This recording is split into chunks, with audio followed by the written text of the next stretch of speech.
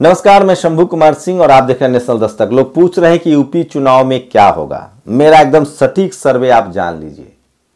लेकिन उससे पहले दो तीन बड़ी बातें। चंद्रशेखर आज़ाद रावण जो है, वो योगी के खिलाफ चुनाव लड़ेंगे। और चंद्रशेखर रावण ने मान्यवर कांसी राम साहब के कदमों पर चलते हुए एक भी ब्राह्मण को टिकट नहीं दिया है। क्या उनको फ़ायदा मिलेगा? ठीक उसी तरह से जैसे एक बीजेपी एक भी मुस्लिम को टिकट नहीं देती है चंद्रशेखर रावण ने तय किया कि वो एक भी सवर्ण को टिकट नहीं देंगे। लेकिन अब मैं आता हूँ सर्वे पर।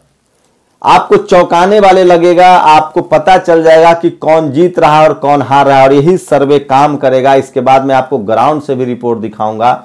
सबसे पहले बात करते हैं सवर्ण समाज की।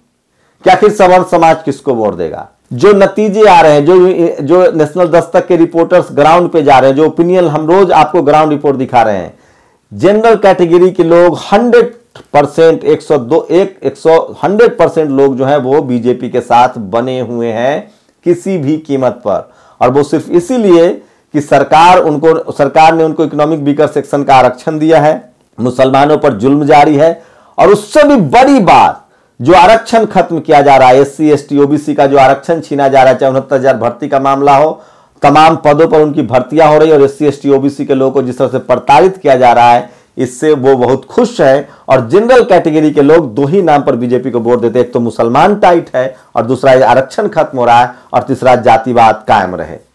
अब आते हैं ओबीसी के लोगों पर। ओबीसी के लोग कहाँ जा रहे हैं? ओबीसी में जिस तरह से ओम प्रकाश राजभर अखिलेश यादव के साथ आए हैं, जिस तरह से स्वामी प्रसाद मौर्य अखिलेश यादव के साथ आए हैं सैनी जिस तरह से साथ आए हैं, दारा सिंह चौहान जिस तरह के साथ आए हैं सोनेलाल पटेल की बेटी, कृष्णा पटेल उनकी पत्नी, और कृष्णा पटेल उनकी पत्नी और सोनेलाल की जो बड़ी बेटी है, वो पल्लवी पटेल जिस तरह से अखिलेश के साथ आए हैं। तो ओबीसी का एक बड़ा वर्ग उनके साथ आता दिख रहा है। खुद अखिलेश यादव ओबीसी है तो यादव कम्युनिटी का वोट उनके पास आ रहा है। लेकिन अभी भी कुर्मी में एक बड़ा चंक है, जो अनुप्रिया पटेल और स्वतंत्र दीप सिंह को आगे रखकर, केशव प्रसाद मौर्य को आगे रखकर बीजेपी खेल करना चाह रही है और वो अभी भी ओबीसी है। उसके बाद निषाद बोर्ड जो है, वो बीजेपी के साथ बना हुआ है। कहने का मतलब है कि ओबीसी में 25 50 50 परसेंट का आंकड़ा है। मतलब 50 परसेंट अखिलेश के साथ जाएगा तो 50 परसेंट बीजेपी के साथ जाएगा। फ़िलहाल इस देश में जो जाति का जो गुमान है, जिस वजह से शेड्यूल कास्ट के लोग ओवैसी को वोट नहीं करते हैं बिना गठबंधन के, अगर ओवैसी और मायावती में गठबंधन हो जाए तो दलित मुस्लिम एक साथ वोट करेंगे। लेकिन अगर ओवैसी से गठबंधन नहीं होता है तो दलित समाज के लोग ओवैसी को वोट नहीं देते हैं। ठीक उसी तरह से एक भी सवर्ण समाज का आदमी बिना गठबंधन के अखिलेश, मायावती या रावण या ओवैसी को वोट देने नहीं जा रहे। अगर आप हैं तो गफलत में है।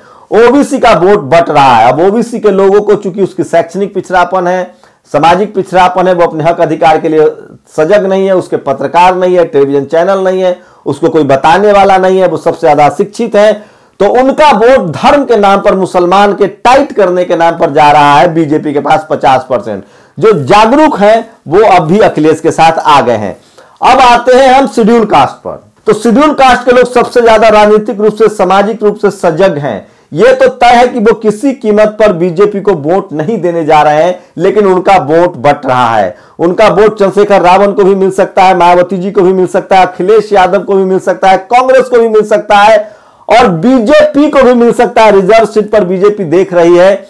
जिस तरह से पिछली बार उन्होंने कनौजिया समाज को ज़्यादा टिकट दिया था, गैर यादव, गैर जाटव ओबीसी में जिस तरह से उन्होंने पिछड़ों को टिकट बांटे थे जो छोटी छोटी जातियों में बांट के ओबीसी को जातियों में बांट के छोटी छोटी जातियों को टिकट दिया था जो कम संख्या में छोटी कहने का मतलब कम संख्या वाले समुदाय को टिकट दिया था उसी तरह से इस बार भी वो करेंगे। मुसलमान का सौ टिकट वो काटते हैं और पिछड़े समुदाय के उन आ, आ, कम संख्या वाले समूहों को टिकट देते हैं जहाँ से उनको वोट मिलता है। शेड्यूल कास्ट का वोट भी बट रहा है। बीजेपी का वही इस बार भी दावा है गैर यादव गैर जाटव।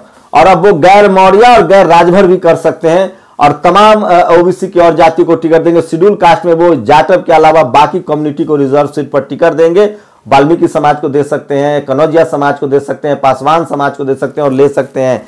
लेकिन इसके बाद भी संभावना है कि इस बार जिस तरह से कास्ट एट्रोसिटी हुई है, जिस तरह से आरक्षण खत्म हो रहा है, जिस तरह से प्राइवेटाइजेशन हो रहा है शेड्यूल कास्ट के लोग सामाजिक और राजनीतिक रूप से बहुत चेतनाशील हैं और वो किसी कीमत पर बीजेपी के साथ नहीं जाएँगे, लेकिन उनका वोट 25 परसेंट कहीं भी एक मुश्त जाता नहीं दिख रहा है। इसलिए कहीं से रिज़ल्ट की उम्मीद नहीं है।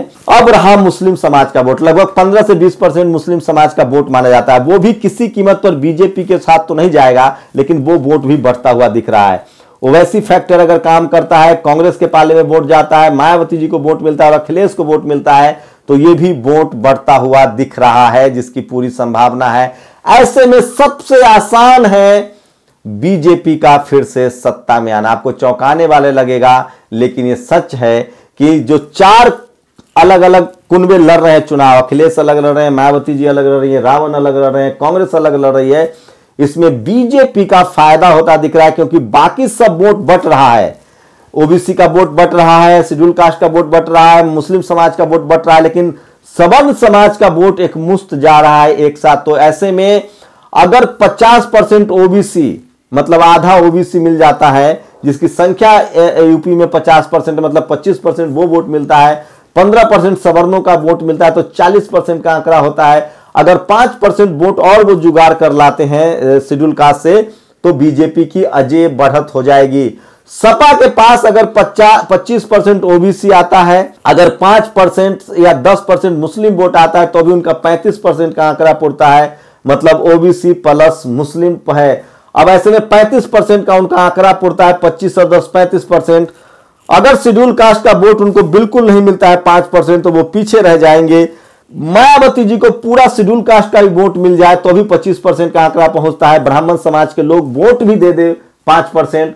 सात परसेंट, मान लो दस परसेंट तो भी पैंतीस परसेंट का आंकड़ा पहुँचता है। चंद्रशेखर आज़ाद रावण के साथ ये चीज़ें अभी स्थिति नहीं है, वोट काटेंगे वो हर जगह ज़रूर। कांग्रेस के साथ भी यही स्थिति है कि वो वोट काटेंगे। तो मामला ट्रायंगुलर बनता दिख रहा है, पच्चीस पच्चीस और पाँच, तीस परसेंट वोटों के साथ बीएसपी दिख रही है, पैंतीस परसेंट वोटों के साथ, चालीस चालीस परसेंट वोटों के साथ अखिलेश दिख रहे हैं, लेकिन बीजेपी पैंतालीस परसेंट, पच्चीस परसेंट और और पंद्रह परसेंट सवर्ण और पाँच परसेंट शेड्यूल कास्ट का वोट भी उनको जाता दिख रहा है। टोटल मिलाकर पैंतालीस परसेंट के साथ वो सबसे आगे दिख रहे हैं। अब रही बात कि इसका सॉल्यूशन क्या है? सॉल्यूशन हो सकता है जिस तरह से अखिलेश यादव ने सवर्णों का अगर वो कोटा कम कर दे सीटें कम कर दे और उसको वो दलित समाज में दे दे रावण को दे देते या पिछड़ी जातीय के ओबीसी के उन जा, छोटी जात कम संख्या वाले जाति समूहों को अगर वो टिकर देते हैं तो वो खेल बदल सकते हैं, लेकिन मुझे नहीं पता उनके पास कौन से सलाहकार काम कर रहे हैं। फ़िलहाल इतना है कि बीएसपी या सपा, जितना सवर्ण टिकट बांटेगी, उससे सवर्णों का वोट फ़िलहाल उसको नहीं मिलता हुआ दिख रहा है। ये मेरी सर, मेरा सर्वे है, मेरे रिपोर्टर से बातचीत के आधार पर मैंने तय किया है। निश्चित दस्तक पर ग्राउंड रिपोर्ट देख सकते हैं, जिसमें हम लोग लगातार कम्युनिटी बेस्ड ग्राउंड रिपोर्ट कर रहे हैं कि आप किस समाज से हैं, कहाँ, क्या रुझान है। आपको दूध का दूध और पानी का पानी साफ़ दिखेगा। आप सच नहीं दिखना चाहते हैं तो ये मेरी समस्या नहीं है। पत्रकार के तौर पे मेरा काम है सही सच बोलना। तो अगर जिस तरह से शुरुआती तरीके से, जिस तरह से सारी पार्टियाँ अलग चुनाव लड़ रही है और जिस तरह से सपा और बसपा सवर्ण समाज को टिकट दे रहा है, उस हिसाब से और जिस तरह से बीजेपी एक भी मुसलमान को टिकट नहीं दे रही और उस टिकट को वो अति पिछड़ी जातियों में खपा रही है तो बीजेपी लीड लेती हुई दिख रही है। और घबराइएगा नहीं, कोई कोई अतिशुक्ति नहीं होगी। कि पूरा जो शासन, प्रशासन व्यवस्था बीजेपी के साथ है, मीडिया साथ है, सोशल मीडिया पर उसके पास बहुत ताकत है। टेलीविज़न अखबार है क्योंकि पाँच परसेंट वोट जो होते हैं वो मूवेबुल होते हैं। वो ये देखते हैं कि कौन जीतने वाला है उसको देंगे और उसी को हम लोग कहते हैं ट्रांसफरेबल वोट, जो टीवी और अखबार की जद में होते हैं। अब तो लोग कह रहे हैं कि 10 परसेंट तक वो आंकड़ा हो गया है तो ऐसे में 45 से 50 परसेंट वोट लाके बीजेपी फिर से यूपी में सरकार बना सकती है। इस मेरे पूरे विश्लेषण पर आपकी क्या राय, आपकी प्रतिक्रिया बहुत ज़रूरी है। शुक्रिया। नेशनल दस्तक की आपसे गुजारिश है कि अगर इसको बचाना चाहते हैं तो नेशनल दस्तक को सब्सक्राइब करने के लिए रेड कलर के सब्सक्राइब बटन को दबाएँ, फिर बेल आइकन की घंटी दबाएँ। नेशनल दस्तक को बचाने के लिए बहुत ज़रूरी है कि हर खबर को शेयर करें, लाइक करें, कमेंट ज़रूर करें।